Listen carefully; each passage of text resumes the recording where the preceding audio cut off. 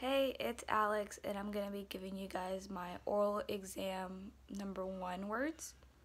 Achondroplasia, chondrectomy, dermatoautoplasty, dermatoheteroplasty, hyperhidrosis, meniscitis, myasthenia gravis, myorrhaphy, onychocryptosis, rhytidectomy, rhytidoplasty, seborrheic dermatitis, trichomycosis, tenorrhaphy, tenodynia, poikilocytosis, polymyso, polymyositis, sternocleidomastoid, staphylococcemia, streptococcemia, spondyloarthritis, subcutaneous, tenosynovitis, tenomyoplasty, and vertebroplasty.